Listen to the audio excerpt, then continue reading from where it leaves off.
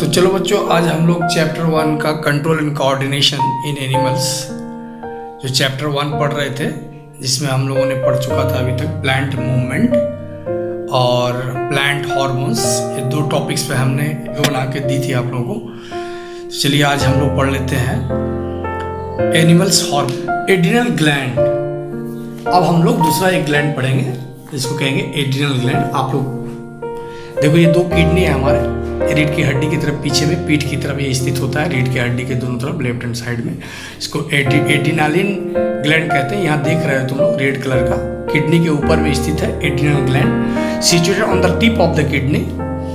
और adrenal gland also known as suprarenal gland के नाम से भी इसको जानते हैं। फॉर्मेशन ऑफ़ एड्रिनलिन ये फ़ंक्शन ऑफ़ एड्रिनलिन ये क्या काम करता है? हम लोग जल्दी जल्दी पढ़ लेते हैं। इंक्रीज हार्ट रेट ये हृदय की धड़कन को बढ़ाता है इंक्रीज ब्लड प्रेशर बढ़ा देता है expand air passage of lungs और जो लंग्स के अंदर जो एयर की जो नली है, हवा की जो नली है, उसको चौड़ा कर देता है।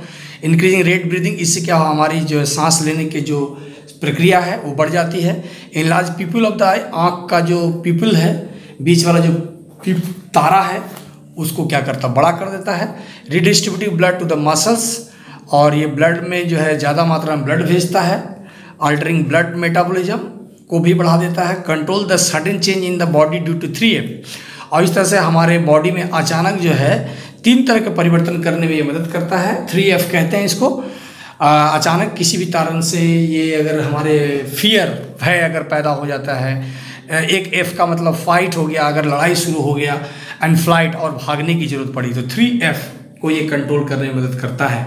फियर फाइट एंड फ़्लाइट यानी फियर मतलब भय क्रोध फाइट लड़ाई, संघर्ष।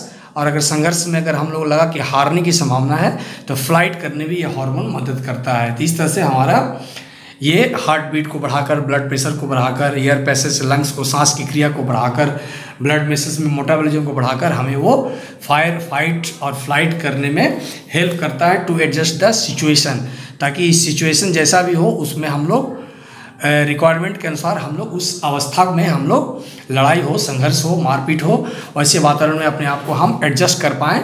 So this hormone is called emergency hormone इसलिए इस हार्मोन को इमरजेंसी हार्मोन भी कहते हैं। कभी कभी क्वेश्चन आता है, क्यों कहते हैं इसको इमरजेंसी हार्मोन देखो हाइपोसिग्रेशन अगर कम मात्रा में हार्मोन निकलता है, कौन सा hormone adrenaline hormone emergency hormone कहते हैं इसको। कम मात्रा में निकलता है लिड्स टू लंग्स डिज़ीज़ फेफड़े बीमारी लो बीपी बीपी भी लो हो सकता है। हाइपर सिक्रेशन अगर ज़्यादा मात्रा में निकलता है तो स्प्रेड नर्वस सिस्टम और ये हमारा नर्वस सिस्टम को एक्टिवेट करता है ड्यूरिंग फियर फाइट भय के समय फाइट के समय help to tackle situation and in case of danger promote courage to flight और ज़्यादा मात्रा में जब ये निकल जाता है हाइपर सिक्रेशन होता है, कब होता है हाइपर सिक्रेशन जब हम लोग अचानक इमरजेंसी में पड़ जाते हैं। तब ये बॉडी में हाइपर सिक्रेशन होता है, ज़्यादा मात्रा इमरजेंसी में लड़ गए, मान लो कि तुम्हारा लड़ाई कहीं किसी से हो गया, संघर्ष हो गया बम गिरने लग गया, कहीं जंगल में शिकार के बीच फंस गए तुम, कोई भी खतरे खतरे की स्थिति में ये फियर फाइट और लड़ाई झगड़े स्थिति में भय को भय को कंट्रोल करता है फाइट करने, लड़ने के लिए साहस हेल्प करता है टैकल द सिचुएशन को टैकल कर पाते हैं और ज़्यादा खतरे की अगर स्थिति हो तो वैसे में साहस झुकाता है और हम लोग को फ़्लाइट करने में मदद करता है हाइपर हाइपर सिक्रेशन होता है उस समय। ज़्यादा मात्रा में हार्मोन निकलता है, इसलिए इसको हम लोग इमरजेंसी हार्मोन भी कहते हैं। इसका चलो बच्चों, आज का क्लास हम लोग यहीं समाप्त करते हैं। कैसा लगा तुम लोग को बताओगे? और तुम लोग अगर अच्छा लगता है तो ज़्यादा से ज़्यादा वीडियो को शेयर करो और लाइक करो और कमेंट ज़रूर करो। कमेंट तुम लोग नहीं करते हो कमेंट बॉक्स में लिखो कि और क्या, किस तरह का वीडियो होना चाहिए। और नेक्स्ट वीडियो में हम लोग फिर मिलते हैं आगे। इसी चैप्टर का लास्ट पार्ट हम लोग बनाएँगे। तो चलो चलो बहुत बहुत धन्यवाद।